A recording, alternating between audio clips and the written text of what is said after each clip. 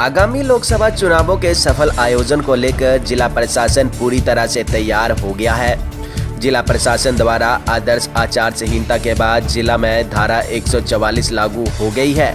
चुनाव प्रक्रिया समाप्त होने तक जिला के सभी लाइसेंस धारकों को इसी बीच अपने हथियारों को नजदीकी पुलिस स्टेशन में जमा कराने होंगे। ये जानकारी निर्वाचन अधिकारी एवं उपायुक्त सोलन विनोद कुमार ने दी।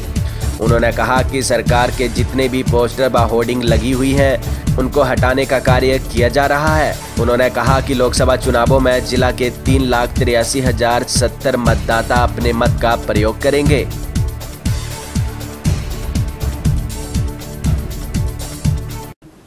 दस मार्च को, शाम को पाँच बजे के बाद मॉडल कोड ऑफ़ कंडक्ट वो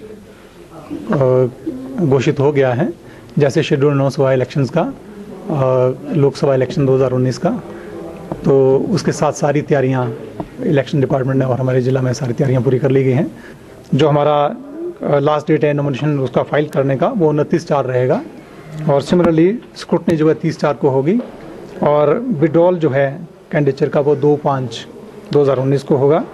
और डेट ऑफ़ पोल जो है उन्नीस पाँच है। और काउंटिंग तेईस पाँच दो हज़ार उन्नीस और सारी पोल प्रोसेस जो है सताई पाँच दो हज़ार उन्नीस को समाप्त हो जाएगी। मैं लोगों से ये निवेदन करूँगा कि किसी र्यूमर में ना आए और जो भी 18 साल से पूरे हो गए हैं एक जनवरी 2019 तक वो अपना अ, मत बनवाने के लिए जो छूट गए हैं वो उसके लिए आवेदन कर सकते हैं। लास्ट डेट ऑफ़ नॉमिनेशन जो कि हमारा उनतीस चार का है तब तक वो आवेदन कर सकते हैं।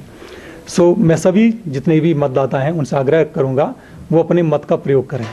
जब हम 19 मई को इलेक्शन में जाएँ पोलिंग स्टेशन पे तो सारे के सारे जो भी इलेक्टोरल हमारे इनरोल्ड हैं तो मैं तो चाहूँगा 100 परसेंट लोग पोलिंग करें साथ।